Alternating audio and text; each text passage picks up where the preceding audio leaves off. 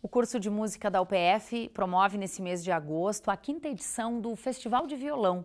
O evento começou ontem e segue até o dia 20 com recitais de graça e também oficinas. Tem certas coisas que eu não sei dizer. E talvez seja exatamente nesse momento onde a arte se torne imprescindível.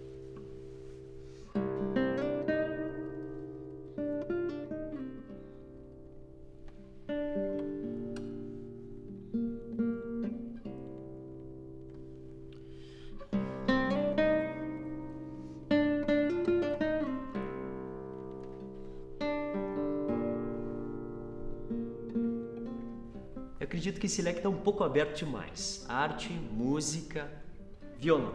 Por que o violão, Marco? Bom, o violão é um dos instrumentos mais populares no mundo inteiro, né?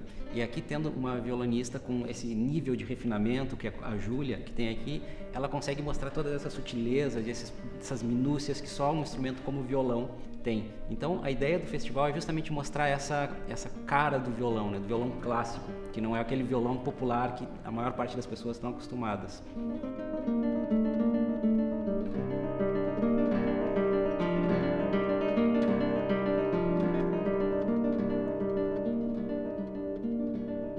Júlia, tu é italiana, veio parar aqui em Passo Fundo, Rio Grande do Sul. Me conta disso, do violão como um passaporte para o mundo. Bueno, eh, es una buena pregunta. Creo que en general la, la música es un buen pasaporte para el mundo porque no tiene límite de idioma. Y ahora, por ejemplo, tengo que hablar en español porque no hablo, no falo portugués. Pero en general, eh, tocando es un idioma universal. Entonces, y la guitarra sobre todo es, eh, es un buen instrumento porque puede traértelo en el avión. Si tocaba piano tenía que dejarlo en la casa. Entonces creo que es muy importante. Y, y por eso, por ejemplo, puedo tocar música de compositores de todo el mundo.